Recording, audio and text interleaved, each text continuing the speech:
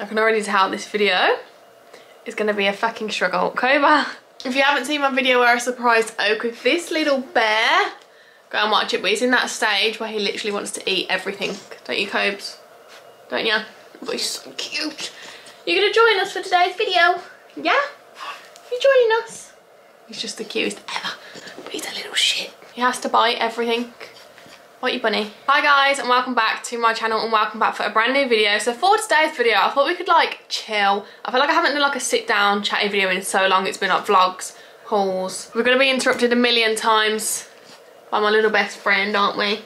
I love you. So I thought we could have a little chill, have a chat. It's going to be like a girl talk any random questions kind of Q&A sort of thing. I've got myself a cup of tea. These cups, by the way, a little side note, are four for £10 from Starbucks, run don't walk. So yeah, I asked you guys over on Instagram for some questions, so thank you so much if you asked one. I'll leave my Instagram on the screen here, so if you want to go and follow to be involved in the next one, go and do that. But yeah, I'm excited to just have like a chill, have a chat.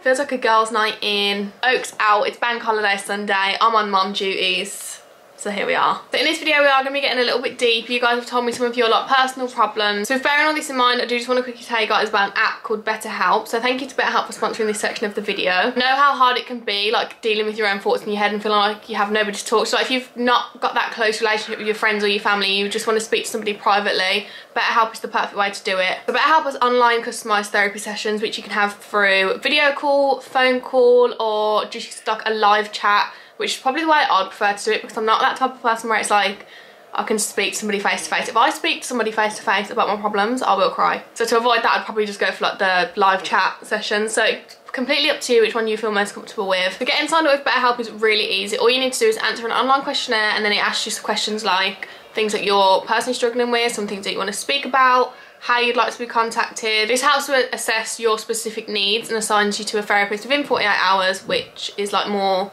suited to you so they can understand you better and help you sort out what's going on in your mind. So the thing with me is I've been suffering with really bad like mental like anxiety ever since having Cobra. I'm just worried about him being okay and like him being alright in the garden and I'm panicking thinking oh my god what if someone comes and steals him or like thinking about future things like when I take him on walks I'm like I'm scared to let him off the lead in case somebody steals him so I've been speaking to a therapist on BetterHelp, which has calmed me right down. It's normal to panic, like I feel like I am a mom, even though he's a dog, he's my baby. So yeah, having that conversation with the therapist really helped put my mind at ease. I just look at Cobra and I'm like, oh, I just I would literally do anything for that dog. So everything's confidential and then once you fill out the questionnaire and met your therapist, you can schedule video calls, phone calls, or you can just live chat to them, whatever you feel most comfortable with. And if you are matched up with a therapist and they feel like they're not for you, you can just switch out your therapist at any time for no additional costs. So if you want to join the 3 million people that have taken charge of their mental health using an experienced therapist, you can use my link www.betterhelp.com forward slash Mooney. I'll leave the link in the description as well. If you sign up through there, you'll get 10% off and it's honestly so worth it. There's literally nothing more important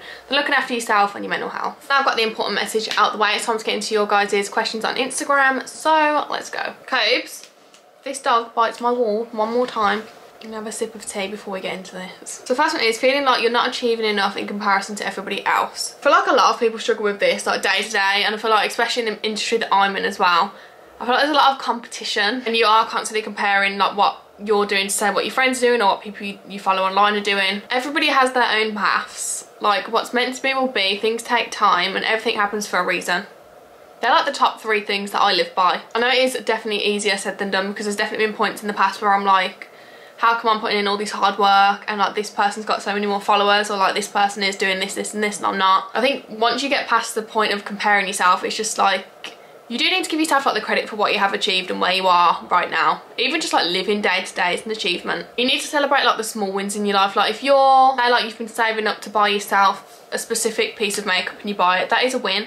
You've worked hard, you've earned your money, you've bought this piece of makeup. Or if you don't like going out on your own, and you've like plucked up the courage and gone out shopping on your own or got on the bus on your own or something like that that is they're all like big achievements. They're just different to other people's kind of achievements if that makes sense. So the main thing i would say is definitely celebrate all the smaller wins. Don't constantly compare yourself to say if someone's doing something big and you're not. Makes no difference. What's big to you might not be big for them. And everybody's situation is different. And your time will come. If you're working hard towards something and you feel like you're not quite there yet keep working hard and you'll get there trust me um so the next one is how are you finding working from home 24 7 love your energy by the way thank you uh working from home I when I left the bank, that was literally the best decision I've ever made in my whole life. Zero regrets. Ever since I've left, I've been doing like so much better, earning so much more money and just loving life. Like, I was literally, I don't want to say I was depressed while I was at the bank, but I literally didn't want to get out of bed every morning, hated going to work. Love the people that I worked with, but the job was just not for me. Like I'm not a customer service in a bank kind of person. So I'm literally living working from home, but I do find it quite like, what's the word? Not demotivating, but I find it hard to motivate myself to do stuff, like a certain amount of things in a day, because I'll just be like, oh, I'll do this today, do this tomorrow. I need to like start being a little bit more like disciplined on myself. I did buy a diary and a planner and haven't used those so it's a great start. But now that I've got a dog it's literally just the best. Like I want to spend well it's the best for me because I literally love spending every second of my life with the dog. I think he's eating something. Koba? Yep he's eating the plastic stuff outside the house great. But like in terms of work I feel like I can't do anything because I feel like I constantly have to watch Cobes and what he's doing because he's still a puppy. I don't want him to be eating things. I don't want him to be chewing up my sofa chewing up the walls. I don't know what it is but he's been chewing the walls make that make sense. Like not even like the corner of the wall but the flat wall he'll be trying to chew the wall. So I think it's gonna get take some time for me to get back into being productive all day every day. Oak's out today which is the reason that I'm on mom duties. But if Oak was here Oak could watch him and be upstairs doing loads. But I do just think like the self-discipline I need to be harsher at it. Like I am getting my work done. Everything that needs to be done is done but it's currently 20 past 7 on a Sunday night. And here I am filming this and realistically I could have done this like in the week when Oak was here. I have zero complaints. I'm so grateful that this is my job now. It literally still it still makes no sense. To me like how is this my job? I literally I don't know. But yeah do love it. Just need to be a little bit more self-disciplined. Any advice for saving for a house want to rent but feel like it's dead money? I think this is more like personal. So if you want to rent you can go rent. If you want to save for a house you save for a house. I think now though well in every situation rent prices are an absolute joke. And then at the end of it it's not yours anyway. So you just feel like why am I paying somebody else's mortgage but then saving for a house is also hard because the house prices at the minute as well are stupid. My main advice for saving for a house would be open up a savings account. So me and I had a Help to Buy ISA when we were saving for our house. And you save by standing order every month to that. So we was putting £200 every month into our to Buy ISA because that's the maximum you could put in. And because we had that by standing order, we would just class it as like a bill. So when our bills come out, we would obviously like incorporate that £200 going out as well as a bill rather than savings. We just never touched it we went in there and it stayed in there. I know they don't do Help to Buy ISAs anymore because they were good because you obviously got the 25% government bonus on top of what you've saved so that was really helpful as well. But there's things like lifetime ISAs that you can pay into as well. I'm not sure the ins and outs of them. Like I don't know if you can take money out of it or whatever. But even if you just open like a normal savings account and have a standing order set up every month to go out incorporate in like what you see as your bill money going out like bills to be paid just like forget it's there. You know what you can do? Open up a savings account with a different bank and then when you go into your online banking you won't see your savings account there so you don't think about the money that's in it. Smart. How to stop feeling so dependent on your boyfriend. I feel like I was very dependent on Oak towards like the start of the relationship whereas now if I don't want to like jinx anything but if anything was to happen I know I'd be completely fine on my own whereas if this was me like 18, 19 I would have thought the whole world was going to end because me and Oak weren't together anymore. I think this is more like to do with self-love but if you love yourself and who you are and how you are as a person then you don't depend on somebody as much. And this is one of the things in the BetterHelp app that you can speak about as well like self-love. If that's something you're struggling with definitely hop on there and have a chat. But I do think it comes down to that because if you're like contenting yourself happy by yourself then you don't depend on somebody. Like I absolutely adore Oak and love having him in my life and I'd be gutted if he went but I know like in me I'd be fine on my own. And I do as well I think that comes with age as well because I was like younger when me and I were together and I was thinking oh my god if he left what am I going to do? How will I live? Whereas now it's like I'll be sad but it is what it is. This could be one of them things where you just take yourself on like solo dates, go shopping or go spend some more time with your friends if you're not seeing your friends as much just to make yourself realise that one you're good on your own two you've got a good circle of people around you so if anything was to happen you'd be fine. And you should want somebody, not need somebody. That is how it should be. So we're all our own people, but it's nice to have somebody else and to want somebody else, but you don't need anybody else. All you need is yourself, because that's all you've got forever at the end of the day. My best friend of five years left me as she remained close friends with my ex who cheated. Bro, she is not a friend. She was never a friend. If my best friend left me and like stayed friends with my ex when he cheated on me, that is muggy, that is fake bitch behaviour. I think it just shows like her true colours. Like if she was your best friend first but then like pies you off for your ex-boyfriend that cheated on you. I feel like that just says a lot about her. And honestly, you're better off with that in kind of people's in your life anyways. I feel like she gives off the vibe where she would probably get with your ex. Maybe that's what's going on. Obviously, it's hard to hear, but you never know. I know it kind of sounds harsh to say, but I'm glad you're not friends with her anymore because if she's that type of person, you're better off without her anyways. You're better off just finding a new group of friends that actually have your back, understand girl code, and just won't do you dirty like that because who does that? Who actually does that? How to deal with the boy you like best friend liking you and them two arguing. This is kind of like a sticky one because if you like this, does this boy like you back actually? If he likes you back, then he's falling out of his mate because his mate likes you as well. Then that's between them. I don't think that's something you should get involved with. Like that's not your problem. If you don't like his best mate, it is what it is. You don't need to get involved in that. That's like their problem. But if you like this boy and then he doesn't like you back and then his best friend likes you, that is just completely orcs and I don't really know what I'd do in that situation to be honest. If I like they're arguing about you, it's a bit of an odd one because we code for one, like if you're with this boy and his best friend likes you, that's a bit dodgy from him. But all I would say is if you like this one boy and his best mate's trying to like ruin it or whatever, then there's not really a lot you can do about it. If as long as you and this boy that you like are good, just keep going down that route. And uh, surely that boy would like get the hint eventually and be like, okay, well, he's got her, so I can't have her.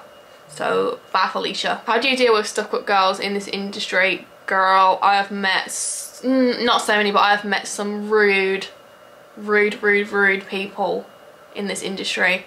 And it's the people that like preach about mental health online are the biggest see you next Tuesdays. A lot of the people that pretend to be everyone's friend online and then they're like slagging, mm, I just can't even get into it. I cannot stand bitchy girls, whether it's in the industry or just day-to-day -day life. Can't stand it, like I'm 23. I don't need this. I don't want to hear it. Feel like it's a little bit harder in the industry just because like you might bump into them again at like an event or something, but I would just not not talk to them.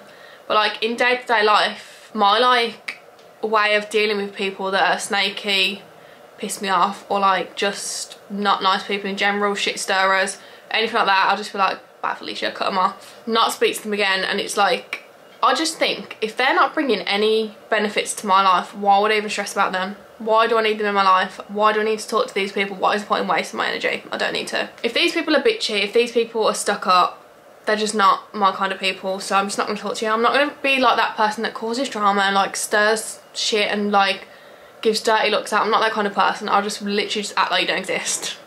And that is my way of dealing with it. This one's not really like an advice one, it's just like I ask for any questions as well. Do you have scalp bleach? If so, how do you keep it healthy? Underneath all these extensions, I don't have much hair left. That's a lie. I do have still quite a lot of hair, but it's just not in the best condition. It's all like broken, especially this like top layer. It is all broken off. The extensions hide a lot of the damage. But yeah, I do have scalp bleach because I don't really want like that highlighted sort of look. Koba, what is his problem?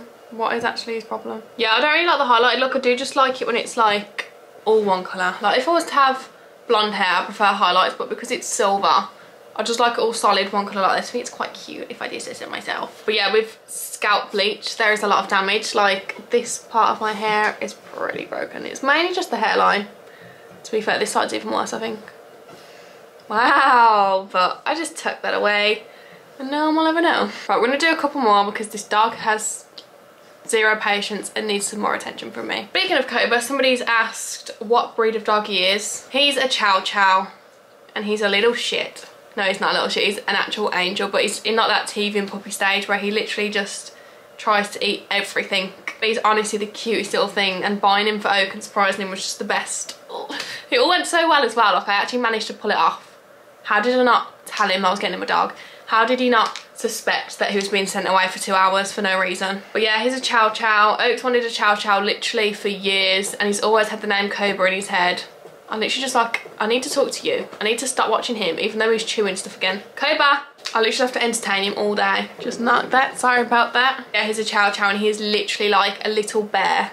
And he's my child, and I'm obsessed with him. Right, we'll do one more because Ah, oh, Bestie Bullshit got me through my four hour journey. Thank you, I love that. So I'll leave our podcast Spotify thing on the screen and I'll link it down below as well. So me and Shannon actually have a podcast. I don't know how many of you guys know. And we literally just chat shit every week on a Wednesday, just speaking about life, girl talk, confessions, icks, advice, literally anything. Do you really need to pick that toy up now? Oh, come here, Baba. He's still too small to jump on the sofa, so every time he jumps up, I have to pick him up. But yeah, I'm not sure if I've actually ever mentioned it properly on my channel, but we do have a podcast. It's called Bestie Bullshit, which the name speaks for itself. It's available on Spotify, Apple Podcasts, and then we've also got a YouTube channel, which is just Bestie Bullshit if you want to go watch it rather than listen. But yeah, I feel like I've never actually properly plugged our podcast so go listen go rate it five stars go subscribe to the youtube if you want to be involved in it in any sort of way i've got an instagram we always do like questions polls or you can just message us and send us like your confessions or your questions and we'll answer them i feel like that's quite a good one to end on so now i've got to go back to doing mom duties so cobes you ready to play? So I'm going to go ahead and end this video here. So thank you so much for watching. Don't forget to check out BetterHelp. I'll leave all the information down below for you guys. And don't forget you can also use my link to get yourself 10% off. But yeah, thanks so much for watching. If you did enjoy, make sure you give this video a big thumbs up. Don't forget to subscribe down below for more. And I'll see you guys very soon with a brand new video.